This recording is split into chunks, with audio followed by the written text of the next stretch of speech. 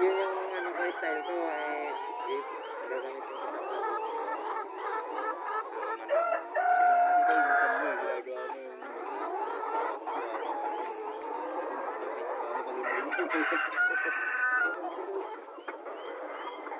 At least pag ano,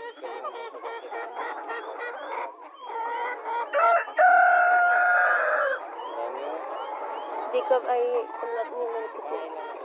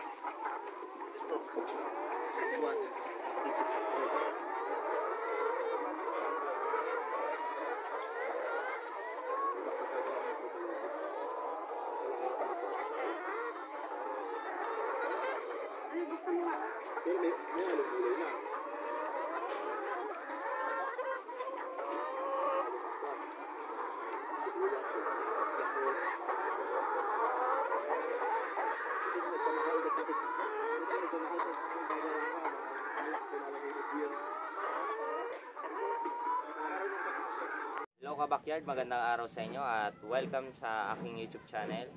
At ngayon ka backyard, ah, titimbangin natin yung ating mga black astrolorp. At ngayon ay pang 5 weeks nila. So tingnan natin kung yung timbang nila ay tama dun sa sinusunod natin na ah, target weight. Tara ka backyard, samahan nyo ako at timbangin natin yung mga black astrolorp natin.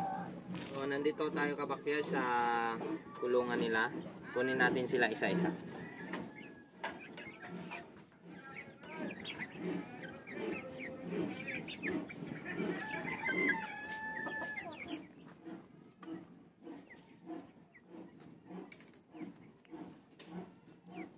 So yan, bali 4 grams.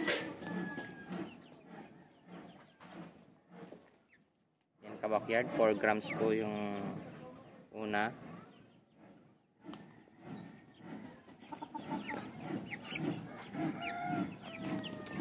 At ito yung pangalawa.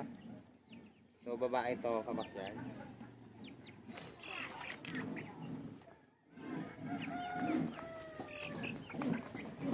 So yan 4 grams din. So ito naman ka backyard, pangatlo. Ulit din to.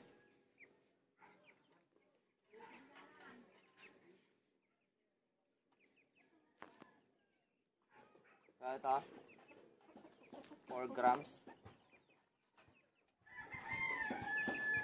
So yan 4 grams.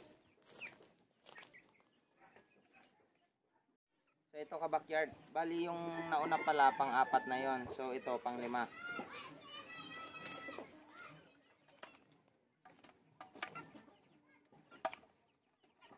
Yan. So 5 grams. So ang target weight pala natin dito ka backyard ay 220 grams. Ka backyard yung pang-anim. Bali lalaki to. Yan.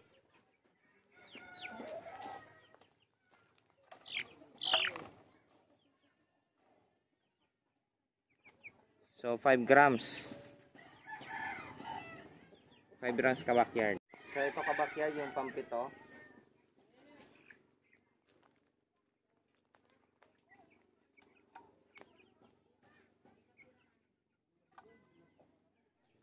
5 grams.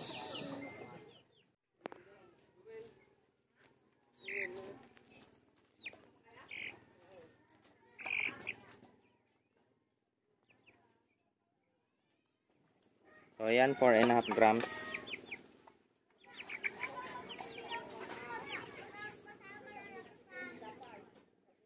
Ayan o. 4 and a half grams. Bali ka backyard. Okay yung timbang ng ating mga ah, Black Astrolorp kasi yung standard na nasa record natin as dapat ay 220 grams sila sa ah, fifth week nila.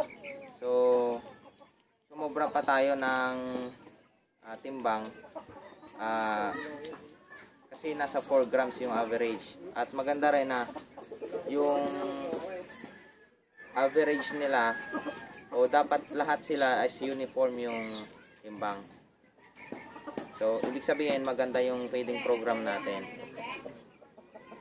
So, ngayong ka-backyard, ah, kukuha tayo ng itlog ng mga Rhode Island Red. So, may pinili tayo. 6 pieces. So, tara, samahan nyo ako.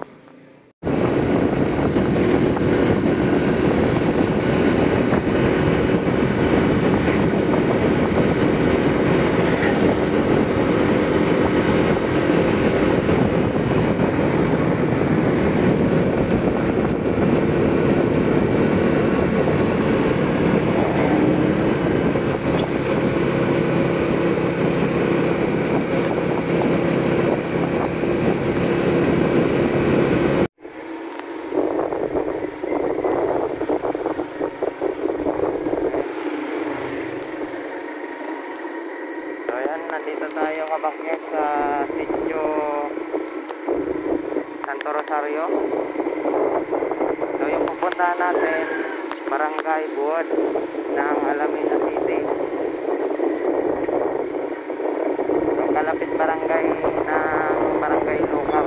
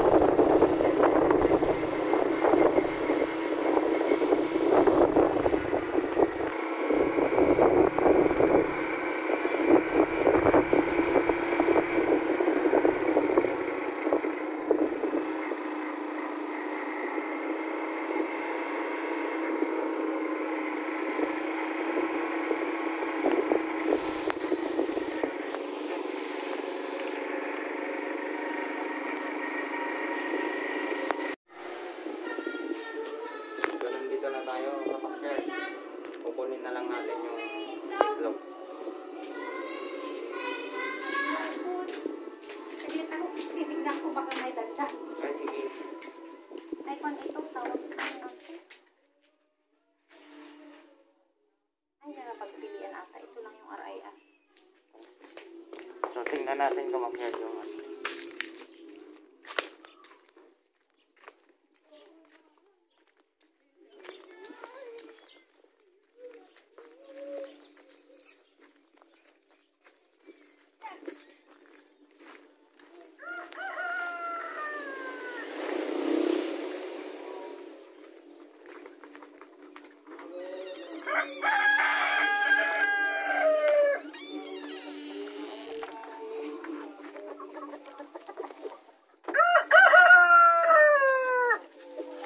Ay, may isa lang.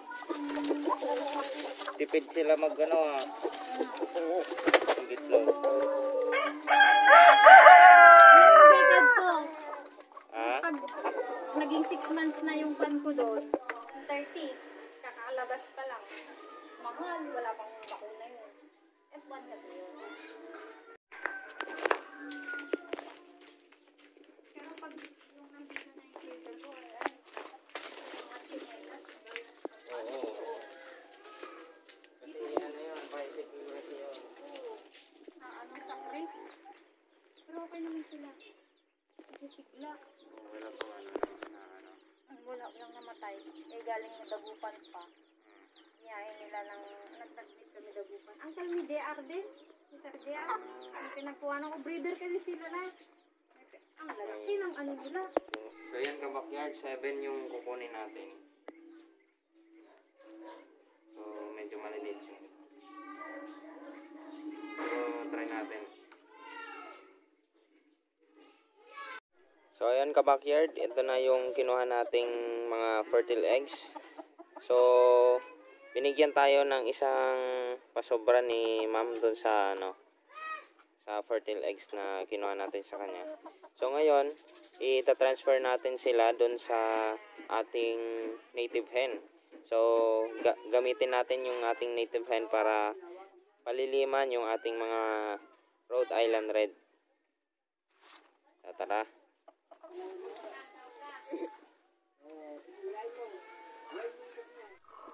So yung kabakyard, binaba natin yung ating ah, native hen at i lalagyan natin yung ating mga itlog na Rhode Island Red sa kanya.